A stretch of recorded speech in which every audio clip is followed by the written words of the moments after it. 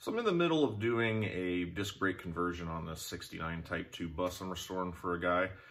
Um, we ended up going, putting it together, driving it, and I was not comfortable with the manual brakes that these things came with. Um, somewhere around 71 to 73, they started optioning um, power boosters at least on them.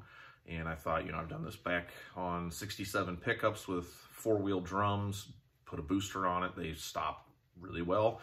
Um, definitely something we need to explore. This has front disc on it. I'll get into that later. But I ran into one very um, helpful thing, kind of just scavenging around.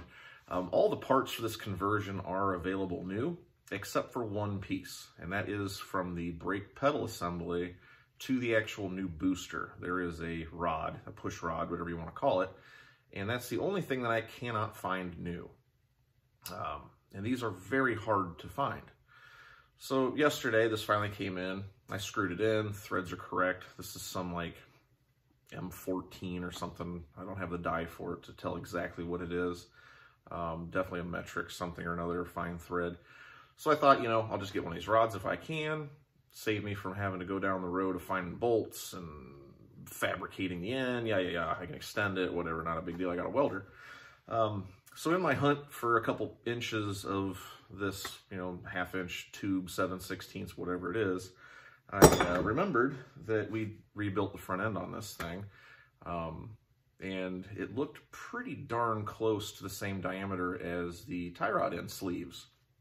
Um, I ended up having to shorten the sleeves. This bus is lowered pretty drastically. So um, the new ones I just threw in my scrap pile and thought, hey, one day maybe it'll come in handy. Well, today was the day because the diameters are pretty close and they're not exact. It would work, look a little cheesy because you'd have to cut it and split, you know what I mean. So I started looking at this end and I thought, you know, well, they're about the same diameter. And I went, well, heck, this might just, what, what? They, they actually are the right thread. so I started thinking, well, it'd look a lot cleaner if I had my old tie rod end, you know, probably threw it away, whatever. Since this is the same thread, I could just cut the threaded end of the tie rod end off, screw it in here. Then I started looking around, I'm like, oh yeah, the manual brake booster has this little guy for hooking master, you know, to push on your pedal. All I need is just the little piece right here. And magically, I get way longer than I need. And it's going to look nice. So, being lucky that I am apparently, I dug around through a garbage can that I haven't emptied for two weeks for some reason and found my old tie rod end. So you can make your brand new push rod for your master cylinder and replace an old tie rod end at the same time, or if you've already rebuilt your front end. These things are like $5 off Rock Auto. That's all the thread that you need, way more than you need actually. A single adjuster sleeve for any Type 2, just punch in 1969. There is a um, standard right-hand thread and a reverse thread tie rod end, so keep that in mind. I'm pretty sure the outer they call the outer is the correct, just right-hand thread. The inner, I believe, is the reverse thread, left-hand thread. So double check that. If you're not sure, they're five or six bucks. Just order both. That way you know you got the right piece. And using your old saddle, or whatever you want to call it, you got yourself a mystery piece that you can buy brand new and save all the he headache of trying to locate one of these original bars that you're going to have to cut open and at least lengthen an inch anyway. Um, my other video on mounting the brake booster and stuff, um, the I-beams, I'm pretty sure from like a 66 and older, so they're a little closer together. And I had to actually space the booster out about an inch to be able to access the studs on the back of the booster to tighten it down to the plate. Um, check out that other video if you're interested in the conversion it's about done. This was one of the last pieces I was waiting on, but I figured I was gonna make a video specifically for this, just to show you that you can make this yourself. If you are missing the entire brake setup off of some basket case, it's not rocket science what you're building here. Um, this is a pretty common piece. You can probably run to a scrapyard and find something close to this, or, or just make it yourself out of some plate. A 5 16ths, make a U out of it, drill a hole through the center of it, got yourself some pieces. So really wanted to share that because it took me a long time. I had to actually buy this from somebody out in Washington. It took for freaking ever to show up.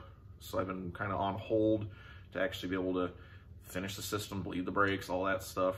If I'd have known this little trick, this thing would have been done already. So I will uh, do a quick video just how I'm going to build it, which is just as simple as cutting a few inches of the thread off the old tie rod end. And I believe what I'm going to end up doing on this one to save this original piece in case we ever need it is actually just welding the nut to the sleeve itself after I cut it to length. And it'll also give me another adjustment point, which never hurts anybody. For 20, 30 bucks in parts, you can save yourself a lot of hassle trying to locate this original piece you have to modify anyways. And it's gonna look better in the end. You're gonna have one solid bar. Um, you have a welder or have a friend with a welder or know a welder, then you're in luck. I would not recommend just threading it in, tightening it down. It works for tie rod ends. It would work for the brake booster, but if you have access to a welder, that's always better. And if you're really scared about your welding, you can do both. Um, this piece obviously pushes and doesn't pull. So tack it. Don't get cheesy, try to tighten them. It is brake system, so weld it if you can. I'm gonna weld it, but in a pinch, to get it moving around your garage or something, you could probably just put this assembly together, cut this to length, stick that piece in, pin it together, it can't really go the other way with the pedal. So you'd at least be able to move it until you find a buddy with a welder to get you taken care of. So let me set up a couple things. I'm gonna take a couple measurements off the bus quick and I'm gonna whip this rod out real quick, save chopping up a brand new, or sorry, not brand new, but original piece, which will be check eBay on eBay soon.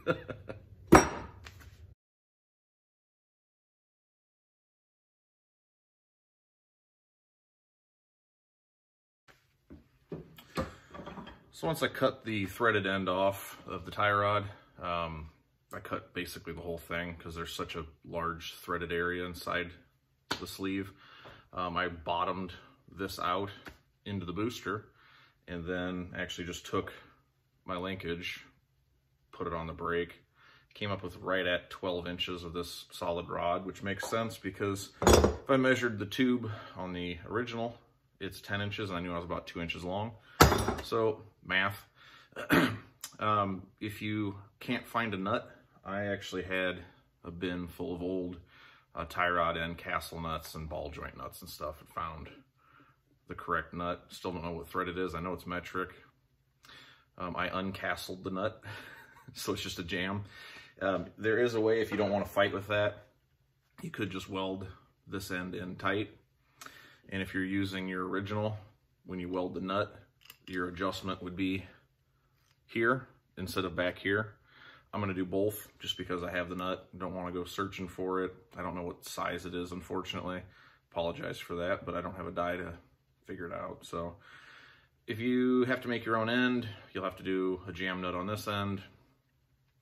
Otherwise, I'm gonna grab out old Sparky and tack all this stuff together and uh, fit her up in the bus after it's cleaned up. And I think that we'll have ourselves a homemade low dollar option for a brand new push rod for your master cylinder on a disc brake. Or if yours is rusted out, jammed up, stripped out, whatever, at least you can make one and it's very simple, very cheap.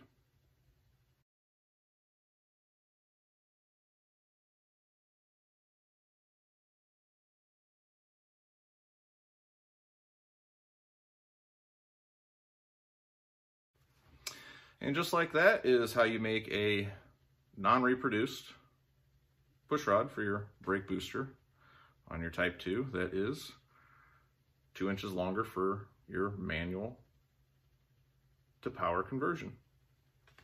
Easy to do, cheap to do, a little bit of welding. I got, I don't know what, 30 minutes in this whole thing, measuring it, playing around, answering a few phone calls. So I'm pretty happy I didn't have to butcher up a stock piece that somebody could use for a restoration. Uh, put this thing on eBay. I paid like 55 bucks for it.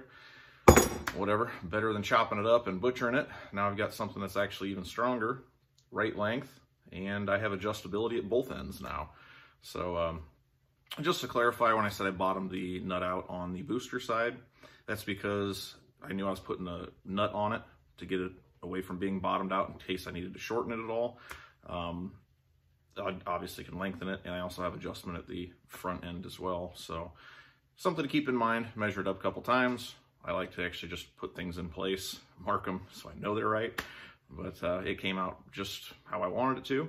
And uh, I'll get it put in the bus after I put a little paint on her and take a picture, and we'll call that a wrap for today.